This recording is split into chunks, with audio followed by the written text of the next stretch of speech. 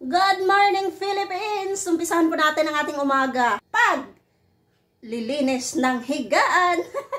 Kagagaling lang po sa school at syempre naman ay labahan natin ang lahat ng dapat labahan. Okay?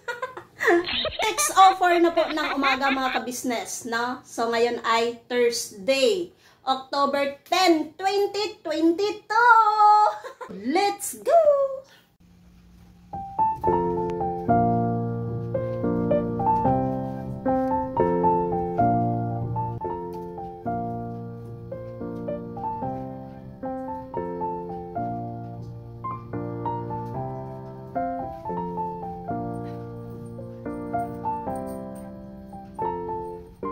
诶诶诶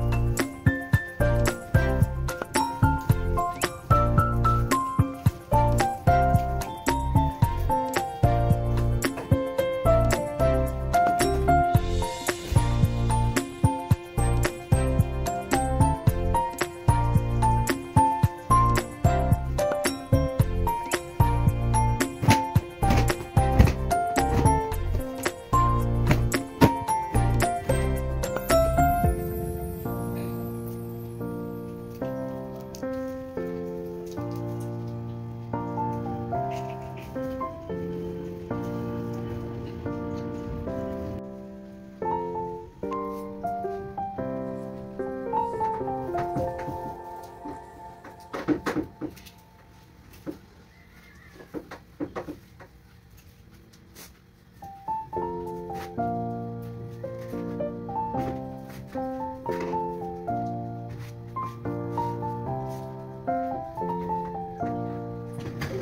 you.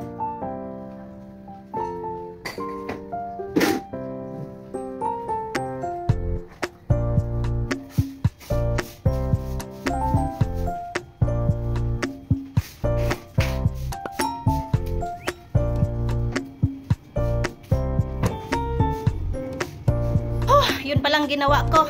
Pawis na pawis na, hindi na kailangang magsusumba pa, no? Ganito talaga ang buhay kapag taong bahay ka.